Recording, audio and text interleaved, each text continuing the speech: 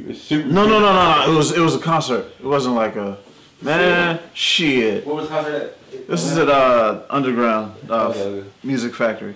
Okay. But like, I had shot so much that day. yeah. The like my my memory card got full like halfway in in the performance, Yeah. and I did. Damn. I don't even remember if I backed it up. I don't think I did. I just went ahead and just format card, keep shooting. Yeah. I was like, oh fuck. Lost content, bro. Yeah, man. So another lesson: keep extra memory cards on you. Always. Always. Jonathan Cooper, my man Coop. Yeah, man. Welcome to the Black Backdrop, bro. Yeah. Appreciate you coming out, uh, allowing me to feature you on this segment, dog. Means a lot. Um, definitely a photographer I look up to coming up in Charlotte. Mm-hmm. Um, knowing that you specialize in food photography now, it's been a pleasure just seeing the work, seeing the growth, etc. So, um, you're originally from Charlotte. Yeah. Okay. Okay. Um, and what do you do? Uh, you know, most of my work is, is food and beverage related. Mhm. Um, with the marketing background that I have, you know, working for uh, agencies, you know, being ingrained in the uh, the food and beverage industry, like as a server, you know, working in fine dining and Mm. all that stuff, like, you know, I think that was like the the platform or the origins for me to like develop my craft. Hmm. So you were once a server, you said? Yeah, In server. fine dining? hmm Yeah. What was it about the fine dining experience that you saw and felt that was different from other dining experiences? Well, I think it was just mainly their their approach. You Mhm. know, um, it was there was always you know just certain ways that they that they did things. Um, you know, I was pretty impressed with that. Mhm. But I also learned, you know, there's food is just a wide spectrum, right? And it's one of the few things that really bring people together Mm. from all different cultures. Mhm. But at the same time, we also need to be more mindful that other cultures outside of ours have different ways of doing their own thing. So, Okay. So when did you pick up the camera? mm, damn. I think I picked it up in, I want to say 07. Okay. Yeah, 07, I picked up uh, like a little, little point and shoot. It was something real cheap, you Mhm. know? And um, always, you know, it was always just a hobby. I never really took it serious until, you know, I went on a uh, trip to Europe and, you know, I didn't know when I would be blessed to go back there. So I was like, you know what, shit, I'm gonna shoot whatever. Mhm. Anything that's beautiful to me, I'm gonna capture that Yeah. and uh, you know that's just keep it for safekeeping. You know, it's it's nothing that I wanted to get out, but you know I figured shit, nah, I want you to see what I saw, and then that's how you know I started getting good feedback, and from there I just stuck with it. You know? hmm hmm Now, photography is something that you do. It's not necessarily all of who you are. Nah, hell no, nah, you can't box me in shit. Yeah. Yeah. nah. What else you like to do outside of photography? Mm. Honestly, taking care of myself. Mm-hmm. Uh, we don't do that often. Mm-hmm.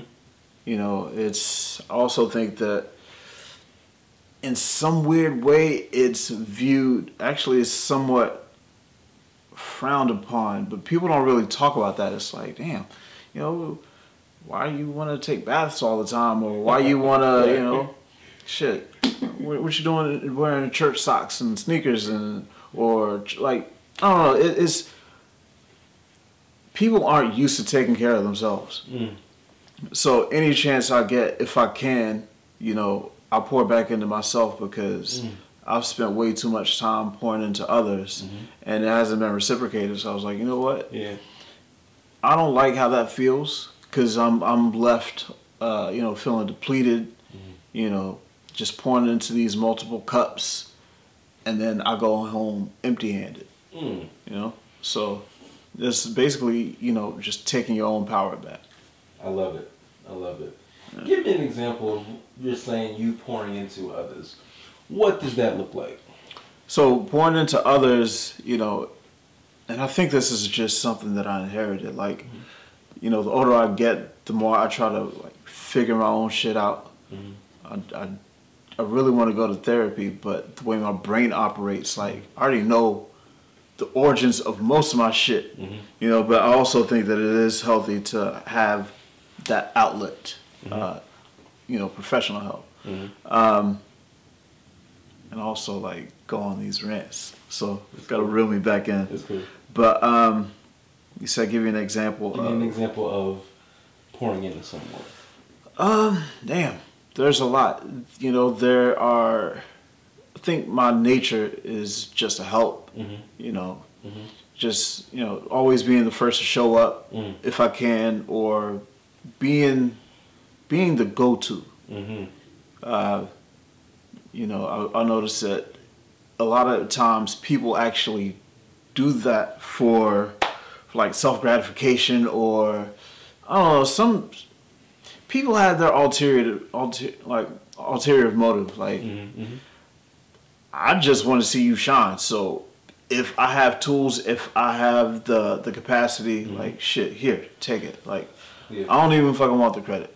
Mm. Like just go on by your minutes. Keep going. Mm. Keep pushing. Now, That didn't fully answer the question though, okay. because you did say give you an example of pouring into cups. Mhm. Um, one thing that I have noticed is that people don't really appreciate it. Mm. You know, I don't really look for a thank you, but fucking acknowledge like where where that shit came from. Mm. You know, it's like, um, shit. I don't know. Let's use Drake as an example. Like, Mm. he's he doesn't write all his shit. Actually, most rappers don't use write all their shit. Mhm. You know, and they never really fully credit the the person that wrote the material for them to get on. Mm. So, Hmm. That seems to be something of a, I won't say cultural thing, but um, something that is very prominent in the arts industry, entertainment industry, things of that nature, right? mhm. Now that's vast when I talk about the industry, Mhm. particularly being in Charlotte. Um, only, only because that's just where we are now, number one, and also just where we happen to come from, so we can see the differences, the changes, etc. Um, what do you feel that acknowledgement would either do or already have done for those who have done the work and put in the work so long? Uh, so damn. Hmm. I'm starting to like. So I might. I'm gonna contradict myself what I just said, right? Mhm. So, in hindsight, it's best to give without thinking about it, right? Mhm. Like, you do shit out of you. Basically, what I'm saying is we should operate out of love, and that's it. Nothing else. Like, I love you. I want to see you shine. So here, like, take it. Mm. I don't really care too much about the credit because the way universal law works, I'm always going to be blessed. Mm. You know, my blessing is, you know, my blessing comes from servicing others, serving, servicing myself, and you know, that's that's that. Mhm. Um, and sometimes it is, it does get exhausting, but like, like I said, man, shit, God ain't failed me yet. Mm. Mm. So, in a way, being a creative, being a photographer, being just naturally in who you are and rooted in how you are, even, what opportunities has that brought you that Mm. you feel not being that person who's ready for certain things because you know you're not giving back to yourself. You're not confident in photography. All those things that you're confident in that you feel as if you have um, let's just say grown in Mm-hmm. and not being ready. What type of like what has how has that been advantageous for you i'll ask that way. Uh, through through my craft. or through the ex- craft outside of and, and honestly in general because I mean your person is what really fuels you into in into and through your craft. You know what I mean? So yeah, absolutely. they're all relative. You know, we always hear people say, uh, you know, enjoy the journey. Mm-hmm. You know, trust the process. yeah, trust the process. Yeah. Like that's that shit is real. Like Mhm. along the way, I have met some some of the most beautiful people that I have ever known. Like, and some of them are actually like lifelong friends. Mm. Um, they have became extended family members, and you know, it's it's one of those things. Um, Dom Kennedy said it best. He said, "Take what you need and leave the rest." Mm. um, know, like along the way, I have been, and I think it also comes from like you know just just be good to people, man. Mhm. Like you're always gonna be rewarded. Mhm. You might not see it. You might not be. I don't know. It's weird. Like it, it shows up in mysterious ways. Mhm. Uh, but you know, I've it's it's led me to dig deeper into myself, Mhm. figure my own shit out. Mhm. Um, even though that's like that's never gonna happen because once you think you got to figure it figured out, Yeah, shit changes. Right. You know, that's it's a part of evolution. absolutely, Huh? absolutely, constant change. Yeah.